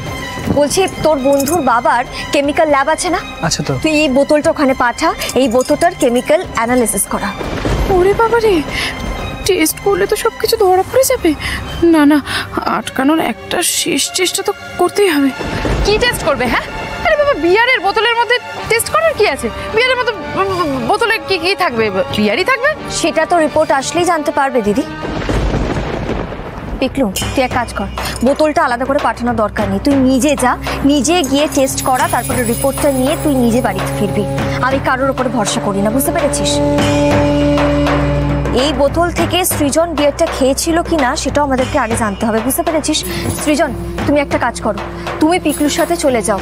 ওরা তোমার সালাইভা নিয়ে সেটা টেস্ট করবে তাহলে বলে দিতে পারবে যে তুমি এই বোতলে মুখ লাগিয়ে বিয়ারটা খেয়েছিলে কিনা। আর ল্যাব টেস্টে এটাও বোঝা যাবে যে এই বোতলের মধ্যে শুধু বিয়ারই ছিল নাকি অন্য কিছু মেশানো ছিল। খবরটা তো এক্ষুনি এসেকে জানাতে হবে। নইলে যে সবাই একসঙ্গে ফাঁসবো।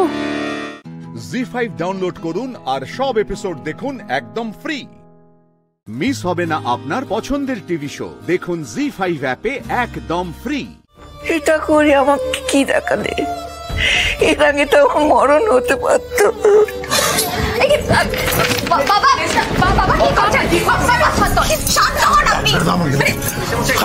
আমার ছেড়ে দাও আমাকে আটকাবে না। আমাকে একদম আটকাবে না তুমি।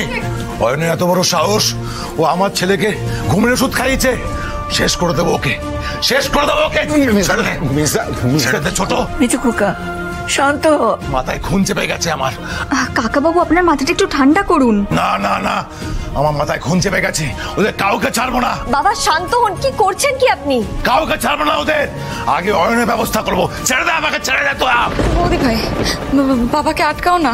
এরম রেগে গেলে আরও কোনো অঘটন ঘটলে কিন্তু ওদের জোর বেড়ে যাবে। কি জোর পেয়ে যাবে হ্যাঁ? কি কি জোর পেয়ে যাবে?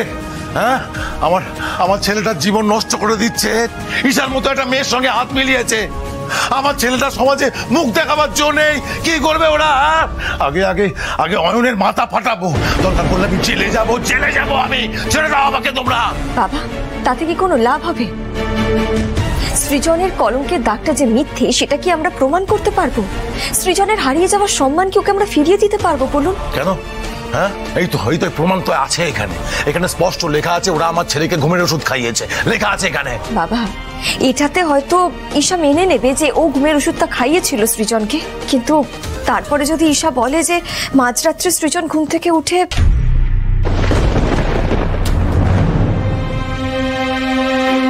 বাবা, এতে কিন্তু আমরা প্রমাণ করতে পারব না যে ঈশা পুরোটা ষড়যন্ত্র করে সৃজনকে ফাঁসিয়েছে।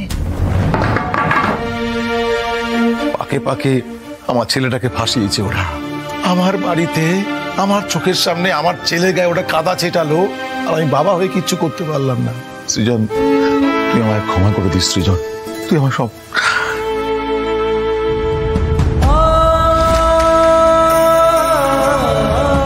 বাবা তুমি ভেঙে পড়ো না প্লিজ বাবা আমি আমি তোমাকে কখনো এভাবে ভেঙে পড়তে দেখিনি। তোমাকে এভাবে কাঁদতে দেখিনি বাবা শান্ত হও।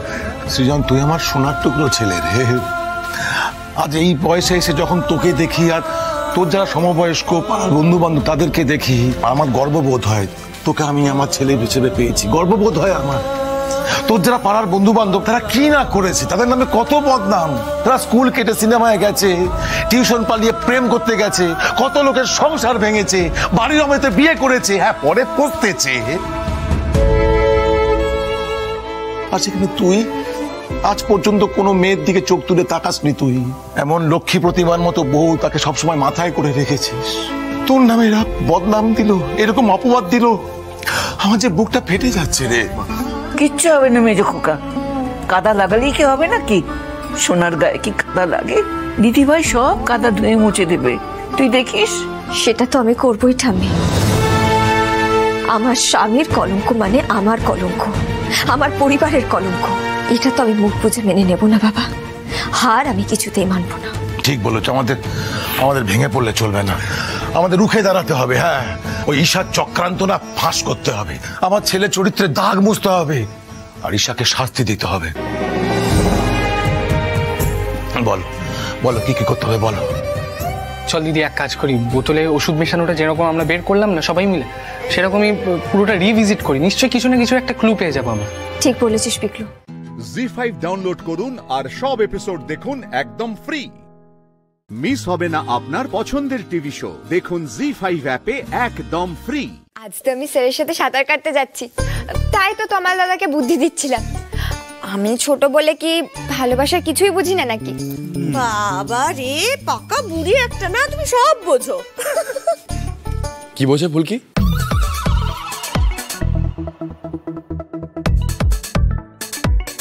ওকে বেশি বুঝতে বারণ করো।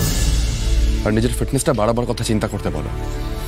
কাল রাতে এত রসগোল্লা গিলেছে ভেবে তো আমারই মাথা খারাপ হয়ে যাচ্ছে। বক্সিংটা খুব ডিফিকাল্ট একটা খেলা। যদি পারো, এই কথাটা ওকে বোঝাও তোমরা। এই যে আজ ওকে সাঁতারে নিয়ে যাচ্ছে, কেন নিয়ে যাচ্ছে? ওর ফিটনেসটা বাড়াবার জন্য। ঠিক আছে? চলো। বাহ। চমৎকার। কোথায় যাওয়া হচ্ছে? বক্সিং এর ট্রেনিং এ জেঠিমা সাঁতার কাটতে। ওকে আর চিমটি কেটে কি হবে? আমি সত্যি এবার এই বিষয়টার একটা ফয়সালা করতে চাই। এই সমস্ত মেকি প্রতিজ্ঞা আমার আর সহ্য হয় না। মেজ বউ! জেঠিমণি তোমার যা বলার তুমি আমাকে বলো। মাকে কেন আবার শুধু শুধু থামো! এখন সব প্রশ্নের উত্তর তোমার মাকেই দিতে হবে। মেজ বউ! মেজ বউ! হ্যাঁ দিদি? হ্যাঁ কি হয়েছে? মেজ বউ তোমার ছেলে যদি ফুলকিকে বক্সিং শিখে একটা বড় কেউকেটাই তৈরি করতে চায় তাহলে সে কথা স্পষ্টভাবে কেন বলে না ও? কেন সেদিন ওরম একটা মিথ্যে প্রতিজ্ঞা করল? কেন বলল যে ফুলকিকে আর কোনোদিন বক্সিং শেখাবে না? বক্সিং ওর জীবনের জন্য একটা অভিশাপ। কেন বললে? উত্তর দাও। তোমরা জানো না, এই বক্সিং আমার জীবনে কত বড় একটা সর্বনাশ ডেকে এনেছে? তারপরও সেই খেলা কেন বন্ধ করে না ও ওর মুখে বক্সিং এর কথা শুনলে আমার তথার কথা মনে পড়ে যায়। তার কোনো মূল্য নেই তোমাদের কাছে। কেন করলে সেদিন ওরকম একটা মিথ্যে প্রতিজ্ঞা? বলো। দিদি। মেজো বউ। দিদি আমি বরাবরই এই বিষয়ে নিজের মুখ বন্ধ রেখেছি দিদি। বিশ- এক মিনিট জেঠিমণি এবার আমি বলি আমি কোনো মিথ্যে প্রতিজ্ঞা করিনি জেঠিমণি। আমি আমি সত্যি সত্যি ভেবেছিলাম যে ফুলকিকে আমি আর বক্সিং শেখাবো না। ওর জন্য আমি অন্য ট্রেনারও এনেছিলাম কিন্তু ফুলকি তো মরিয়া হয়ে উঠেছিল যে ও বক্সিং শিখলে আমার কাছেই শিখবে। সেদিন পার্টিতে ও সবার সামনে মিডিয়ার কাছে প্রতিজ্ঞা করেছে যে ও একদিন একজন নাম করা বক্সার হয়ে দেখাবে। এখন সেই প্রমিসটা যদি রাখা না যায়, তাহলে তো আমরাই আবার হাসির পাত্র হব। আমি আমি কথা দিচ্ছি জেঠিমণি। কয়েকটা দিন ফুলকিকে বক্সিং শেখাবো। তারপর আমি ঠিক থামো! সবসময় না মুখে মুখে এত বড় বড় কথা বলো না। কেন জেঠিমা? তুমি চাও না স্যার বক্সিং জগতে আবার মাথা উঁচু করে ফিরুক? তুমি চাও না বলো? তাহলে দিনরাত স্যারকে এত কথা কেন শোনাও? ফুলকি কি বলছিস? ফুলকি ফুলকি এদিকে এসো। চলো। সব বিষয়ে এত কথা কেন বলো তুমি? জি ফাইভ ডাউনলোড করুন আর সব এপিসোড দেখুন একদম ফ্রি মিস হবে না আপনার পছন্দের টিভি শো দেখুন জি ফাইভ অ্যাপে একদম ফ্রি বুঝে নিছো কীভাবে কাজটা করতে হবে? হ্যাঁ স্যার। চাপের কোনো ব্যাপার না। এখন এই ক্লাবে এক্সক্লুসিভ আওয়ার চলছে বুঝতে পেরেছ? যার মানে হচ্ছে ফুলকি দাস ছাড়া এই সময়ে অন্য কেউ আর জলে সাঁতার কাটতে পারবে না। নিশ্চিন্তে কাজটা করে নেবে অসুবিধেই হবে না। অফিসের সামনে থেকে কানেকশনটা নিয়ে নিও। হুম কালকে ওই পুলের ধারে একটা রেন ডান্স হয়েছিল ওখানে তুমি একটা লুপ বোর্ড পাবে। হুম, ওটা সরিয়ে নেবে। আমি সময় মতো রোহিত স্যারকে সরিয়ে অন্য জায়গায় নিয়ে চলে যাব। তখন তুমি ইলেকট্রিকের তারটা জলে ফেলে দেবে, তাতে কি হবে? মেয়েটা প্রথমে খানিকক্ষণ ওই বিদ্যুৎ স্পৃষ্ট হয়ে ছটপট ছটপট করবে, তারপরে অসার হয়ে জলের তলা তলিয়ে যাবে। ইম্পর্টেন্ট কাজ হচ্ছে তারপরে ওই তারটাকে মনে করে গুটিয়ে নিতে হবে। প্রমাণ তো রাখা যাবে না, তাই না? ঠিক আছে, স্যার। আমি তাহলে ওই পুলের ধারে ঝাড় দিতে শুরু করি। আস্তে আস্তে। আমি তাহলে পুলের ধারে ঝাড়টা দিতে শুরু করে দিই। আপনি স্যারকে নিয়ে সরে গেলেই আমি কাজটা শুরু করে দেবো স্যার। ঠিক আছে যাও তাহলে। শোনো শোনো শোনো। তোমার কাঁধে তো অনেকগুলো অপরাধের বোঝা আছে তাই না? আশা করি মনে আছে। শোনো কোনো রকম বিশ্বাসঘাতকতা করলে কিন্তু এই সূর্যের মুখ আর দেখতে পাবে না। হুম? জেলে পচবে। কাজেই চুপচাপ করে কাজটা করবে তারপরে চলে যাবে। টাকা নিয়ে চিন্তা করো না ওটা পেয়ে যাবে।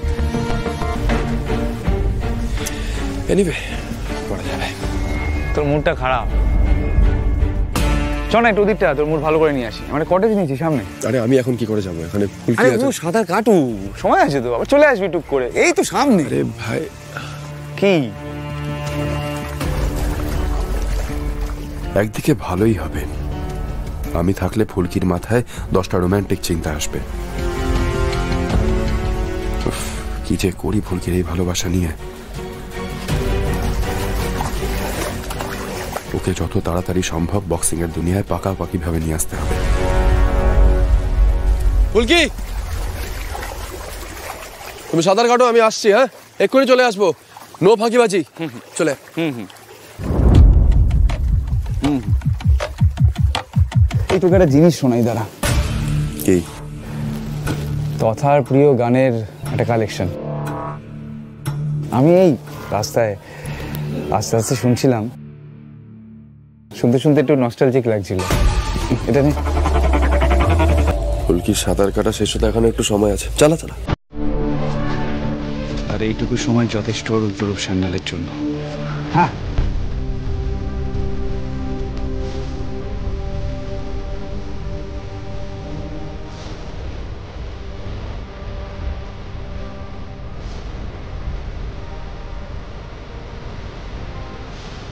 ভালো না গানগুলো? কথার গাওয়া। ভালো তো গানগুলো। গান গান। শুনতে পাচ্ছিস না হ্যাঁ স্বাভাবিক। গান বাজলে আর কি করে শুনবি? আমার তো সেটাই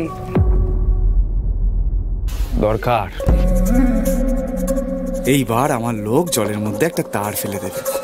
ইলেকট্রিক কারেন্টে পুরো সুইমিং পুলের জল ইলেকট্রিফাইড হয়ে যাবে। বিদ্যুৎ স্পৃষ্ট হয়ে মৃত্যু রোহিত রায় চৌধুরীর ছাত্রী এবং স্ত্রী ফুলকি।